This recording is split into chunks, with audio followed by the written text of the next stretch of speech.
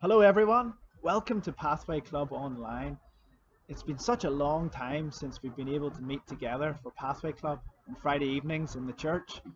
And we hope you're keeping well and that you're enjoying the sunshine and that you enjoy this program. But first of all, we're going to sing Blessed be the name of the Lord.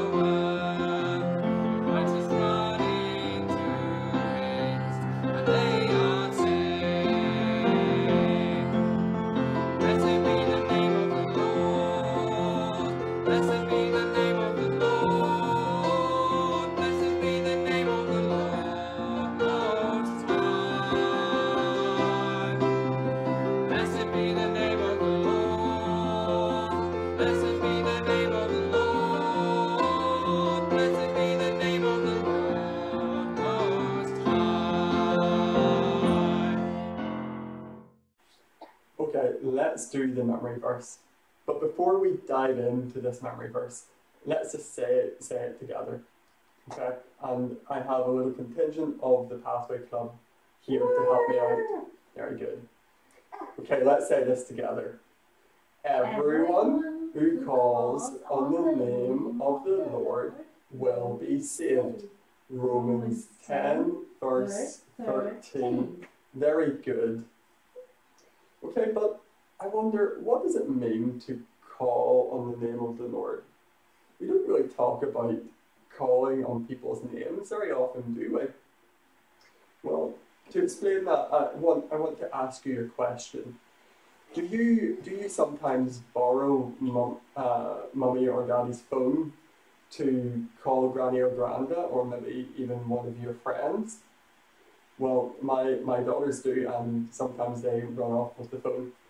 But I want to show you my I want to show you my phone, my contacts list. So Okay.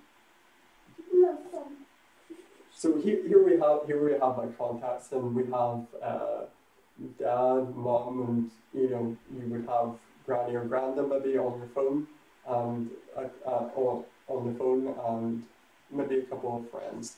But how do you call on someone?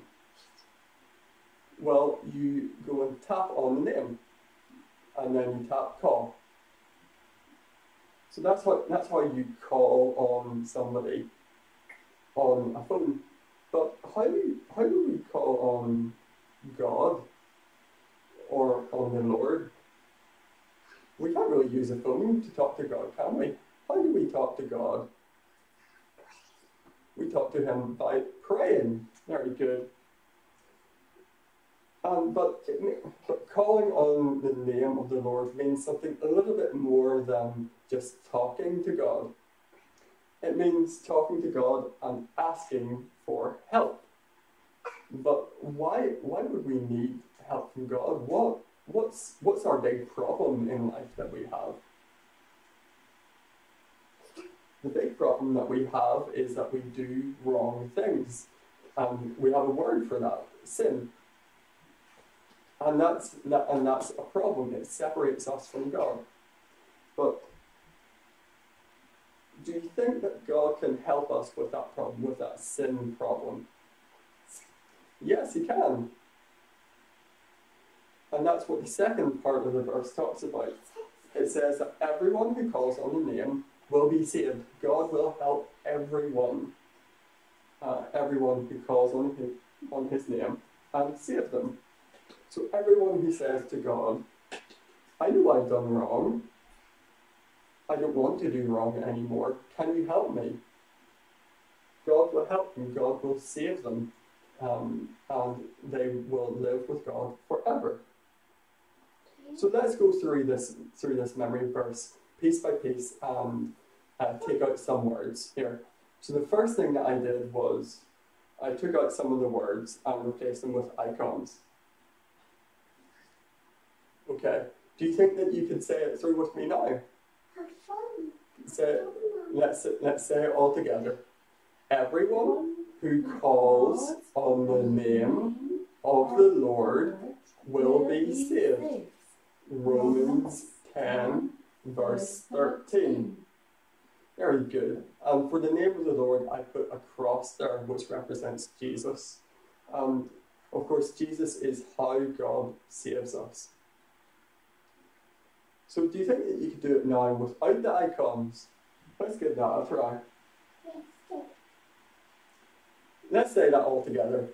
Everyone who calls on the name of the Lord will be saved. Romans 10, verse 13. Very good. Now, this time I want to do it without the word everyone. But that's a really important word in this. It's, it's important not to forget this because it means that everyone who calls on the name of the Lord will be saved. It doesn't matter what you've done, uh, it doesn't matter what you've done, God can save you. Okay, so let's say that through without the word everyone. Everyone who calls on the name of the Lord will be saved. Great, you're doing well. So we don't really have a lot of words left anymore, so let's just take all those words away. It's getting a bit difficult, isn't it? So let's say that together.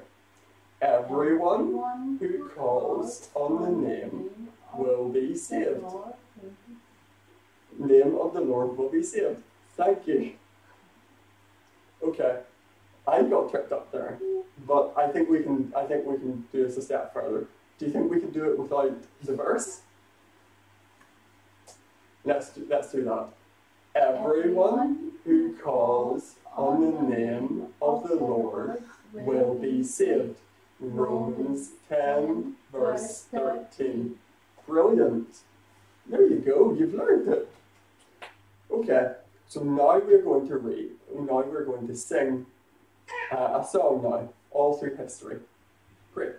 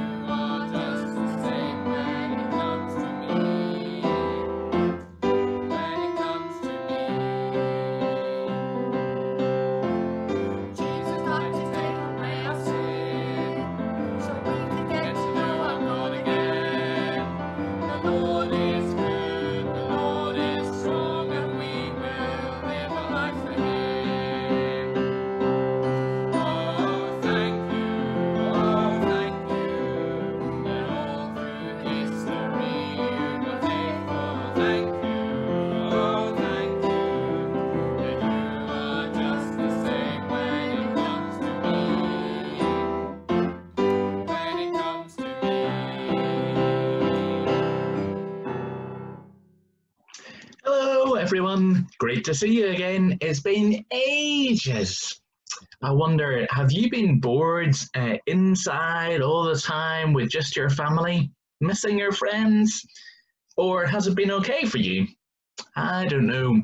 But today's story is a true story from the Bible about someone who didn't go out of the place they lived for a very long time. They didn't go out to play, they couldn't go out to the shops, and they didn't even see their friends uh, all the time. For our family in today's story, they were stuck inside, but strangely, they had an awful lot to do. They never got bored. We had in our family, locked inside, one daddy, uh, one mummy, uh, three sons, and their three wives. But inside, there were also a few other things. Hands up, who has a pet? Maybe you've got a cat or a dog or a, a gerbil or uh, something like that.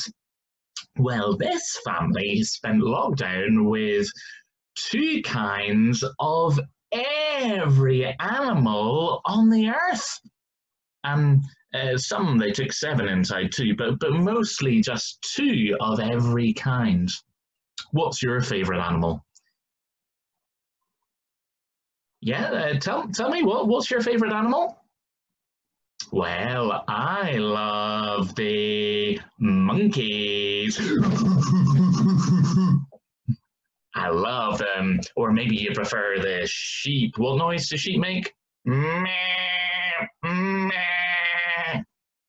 Well, imagine looking after all of the animals, feeding them, keeping them happy. What type of house would be able to have all these animals in? It would be like going to the zoo Who's been, hands up, who's been to the zoo? Yeah, I'm sure many of you had. Well, there was a very special reason that these people were living with all these animals. We'll find out why soon. But I've got a different question for you now. I've got uh, a thing that some of you may have been on. Let's see here it is here. Uh, here it is. And let's see who has been on this uh, big boat. Hand, hands up if you've been on this big, big boat. It's huge. It has hundreds of people on board. It has lots of cars. It has big, big lorries and buses and lots of things on board. But for the family in today's story, they lived on an even bigger boat than that. It was ginormous. But why did they live in a boat? I don't think you live in a boat, and I don't live in a boat. So why were they living in a boat? Well, God said that He made the whole world very good. Nothing was wrong with it. But soon, years later, he noticed that it wasn't like that anymore. Humans, people like me and you, they started to do wrong things. They started to think wrong things, and they started to say wrong things too they started to reject God's way. God called that sin. Small sins, maybe just like hating somebody else or saying something nasty to your brother or sister, soon became bigger sins and horrible things were going on in the world. Oh dear. Well, here's a picture of some of the really nasty things that were happening at that time. What's going on? Hands up. Have you ever hit your brother or sister? What did your parents say about it? But I hope you said sorry afterwards. But these people were so horrible that they never said sorry. They just kept on being violent, hitting and fighting, and oh, they were terrible. Even, I'll tell you a secret, even killing each other. If you've been watching the news, you'll know that we should never kill someone, even if they're very different to us. God said it was evil. God said it was enough. But God did say that He would make a way for people who followed Him and said sorry to be safe. You see, God said that one day He would send a flood on the earth, water that would go splish, splash, splish, splash, splish, splash on all of the earth from the clouds. He said that it would get so bad that the water would come up and up and up.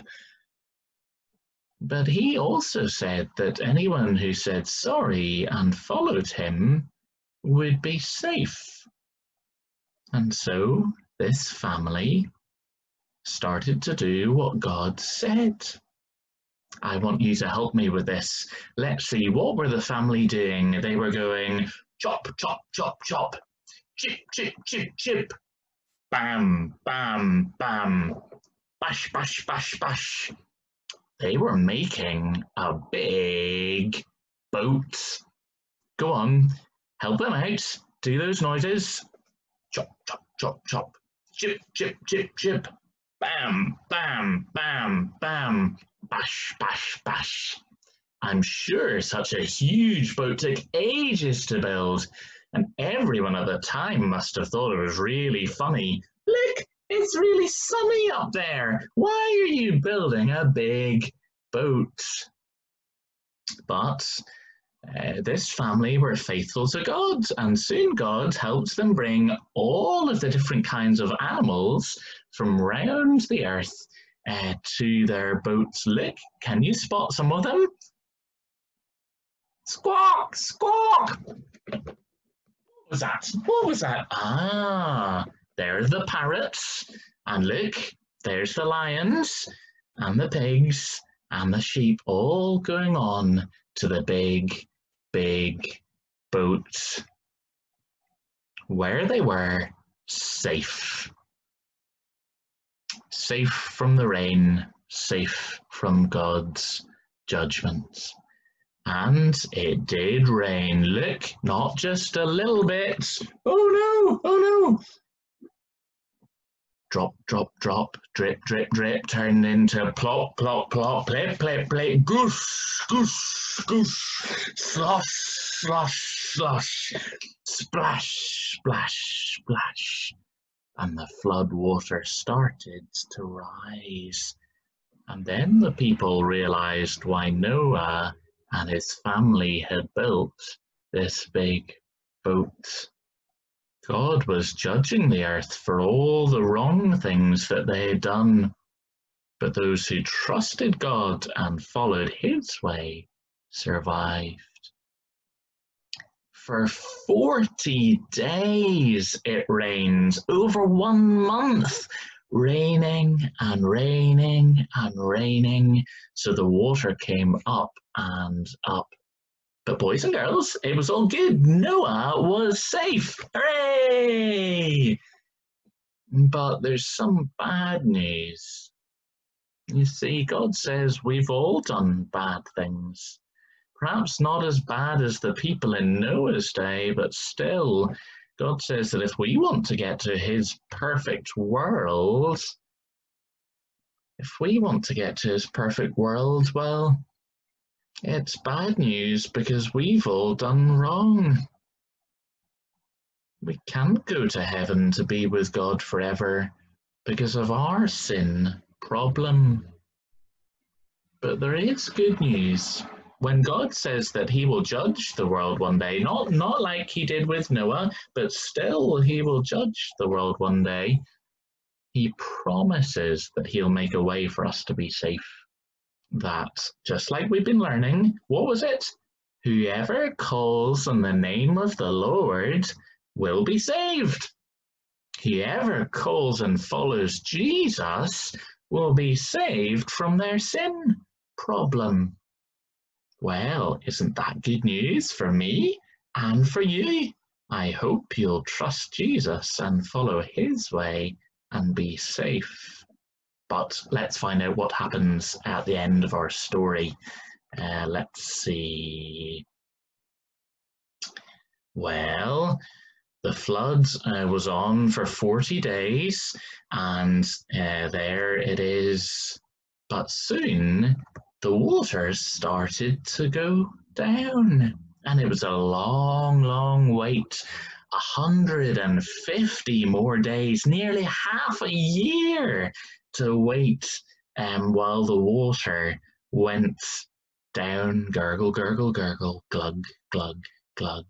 And soon Noah thought he saw land out to sea. And so he started sending birds out uh, to see whether the birds could find anywhere to land or uh, anything to bring back. And soon a dove uh, did bring back a little uh, branch, and uh, one knew that it was going to be fine for him and his family and all the animals to live on the earth again. And there they are, safe, safe, safe. And God promised something. God said, I will always, always, always keep my promises. And I will never, never, never flood the whole earth again, ever. And you know how God uh, said that He would uh, remind us of that? He said, I'm going to make a rainbow in the sky so that you can remember that I am good and I will never, never, never flood the world again. And so that's great, boys and girls, isn't it? Can anyone think where have you seen a rainbow recently? Yeah, some of you have even made rainbows recently and put it in your windows. Well, that's because we want to remind each other that God is good and that even in hard times, He will always, always, always keep His promises. God promises that anyone who calls on the name of the Lord will be saved. That you or me, if we follow Jesus' way, we'll go to be with him in heaven one day and avoid his judgment forever and ever. So, thanks for listening so well. Um, that's the uh, uh, that is the end of our story for today. I hope you've been listening because we're about to have a quiz soon, um, and I'm looking forward to being back together in Pathway Club soon. So, see you soon. Hello, boys and girls. We really hope that you enjoyed Peter's story that he's told us today, and um, we hope you're listening well because now we've got our quiz, and we are going to have some the story. So we hope you're listening well. So some of you might have seen this quiz before. This is our ripe or rotten quiz. We've got an, a tray with lots of apples on it, and some of the apples are ripe, but some of them are rotten and have worms in them. So you don't want to get any rotten apples. You just want to get ripe apples for your team. So we've got two teams. We've got Esther's team and we've got Nathan's team. So you decide at home if you want to be on Esther's team or if you want to be on Nathan's team, and you cheer on whoever's on your team. Uh, cheer them to get a ripe apple for your team, and whoever gets the most ripe apples is the winning team. And then at the end, we're going to have a special question for you at home, because um, then you can answer it, and you can get a grown up to text me the answer, and you'll get a special prize. Okay, so Um, we'll start off with Nathan's team. So Nathan, why did God send?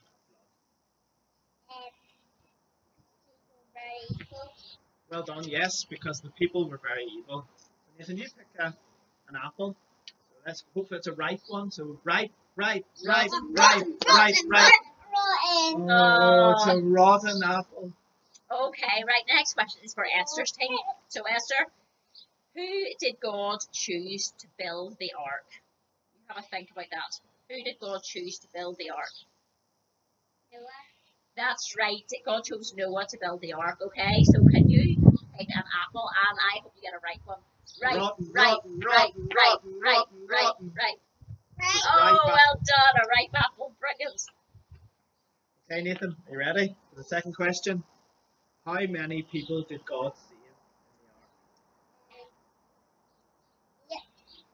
Yes, eight people. That's Well done, well Nathan. done. So right, right, right. Oh, All right. well done, right. Yes, well done. Okay, so question for Esther's team. How many of each kind of animal did God tell Noah to take onto the ark? Two, that's right. He took a pair of animals on the ark. So, you, could you choose an apple now? Get it right one. Right, Right, right, right, right, right, right. Oh, well done. It's a right one. Brilliant. Okay, Nathan. Last question for you. How many days did it rain for? Uh, Yes. Well done. Right, Rotten, 40 rotten, days. rotten, rotten. Oh, Oh, yes, right right one. Well apple. done. And Esther, this is your last question. How did Noah know that the flood was going away? Sent out a dove which returned. That's right. Noah sent a dove out, as we heard in the story, and it came back with an olive branch, and he knew the water was going down. So when you pick an apple, right, right, Rotten, right, rotten, right, rotten, right, rotten, right. Rotten. Oh, Okay, Nathan, can you tell me how many ripe apples you have? Two. Nathan's team has two ripe apples. How many does Esther's team have? Two. Two. oh, it's a draw. Oh, it's a draw. Well done. Well done. So, We have one final question, boys and girls, for you at home. Um, so the question is, what sign did God put in the sky to remind us of his promise not to flood the earth again? I'll say it one more time. What sign did God put in the sky to remind us of his promise not to flood the earth again? So if you know the answer to that question, get somebody to text it in to me and you will get a prize. Thank you so much for joining us for our quiz today. Boys and girls, we hope you've enjoyed watching our online Pathway Club. We've really missed you at Pathway these last few months. If you normally come along on a Friday night to Pathway Club, you should have received a pack with a magnet with our memory verse on it to help you to learn the verse and also a craft which is a rainbow magnet so you can colour in this rainbow and uh, put the magnet on the back and that will help you to remember the story that we learnt today and about God's promise. Thank you for joining us. We plan to do another online pathway club next month, so look out for that. Goodbye.